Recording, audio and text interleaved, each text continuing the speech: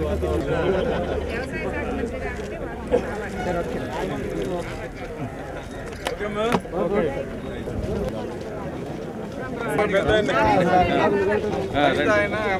రెండు rural development సర్ప office విజయవాడలో ప్రారంభోత్సవ కార్యక్రమం ఉంది కనుక మధ్యాహ్నం నమ్మిన వారిని కోరడం జరిగింది ఉదయం అక్కడ చూసి ఈ రోజు మననే మనం ఏర్పాటు చేసుకున్నాం దానికి సంబంధించినటువంటి పూర్తి వివరాలు వ్యవసాయ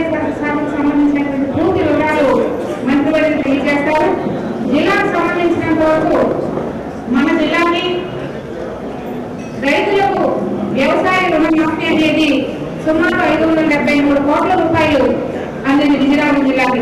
ఐదు వందల డెబ్బై మూడు కోట్ల రూపాయలు గౌరవ ముఖ్యమంత్రి చంద్రబాబు నాయుడు గారు మన జిల్లాకి వ్యవసాయ రుణమాఫీగా ఇచ్చారు. లబ్ధి పొందిన రైతాంగం రెండు లక్షల పదిహేను వేల మంది ఈ వ్యవసాయ నియోజకవర్గానికి తొమ్మిది కోట్ల రూపాయల నియోజకవర్గానికి కూడా అభినందనలు ధన్యవాదాలు తెలియజేస్తూ మరి ప్రధానంగా మన జిల్లాకు సంబంధించిన వరకు మన గౌరవ ముఖ్యమంత్రి చంద్రబాబు నాయుడు గారు వెటర్నరీ కాలేజ్ శాంక్షన్ చేస్తున్నామని మాట్లాడడం జరిగింది అదే కానీ గర్వంలో మనం శాంక్షన్ చేయడం జరిగింది అదే విధంగా హార్టికల్చర్ కావాల్సినటువంటి సహాయ సహకారాలు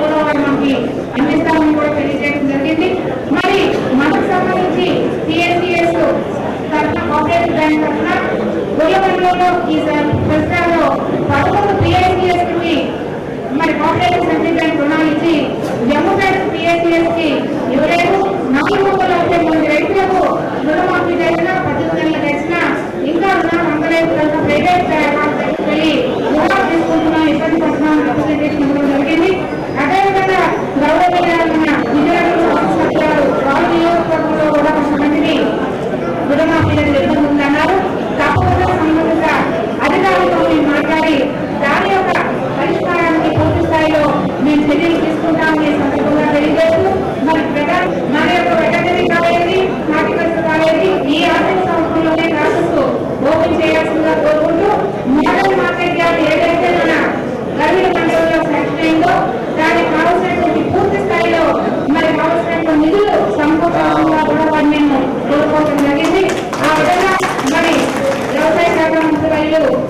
ఫ్లెక్సిబిలిటీ ఉన్నటువంటి వ్యక్తి చాలా మంచి మనసు ఉన్నటువంటి వ్యక్తి.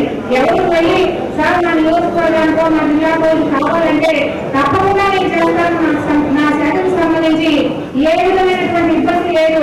తప్పకుండా నేను చేస్తాను పేపర్ మీద రాసి పెట్టండి అని చెప్పేటటువంటి చాలా ఉన్నతమైనటువంటి మనసుకు ఉన్నటువంటి వ్యక్తి. కనుక ఆ విధంగా మనకి ఏది అవసరమైనా అభివృద్ధి పరంగా మనకు కావాల్సినటువంటి సహాయ సహకారాలు ఎప్పుడు కూడా మన మంత్రులకి కూడా మనం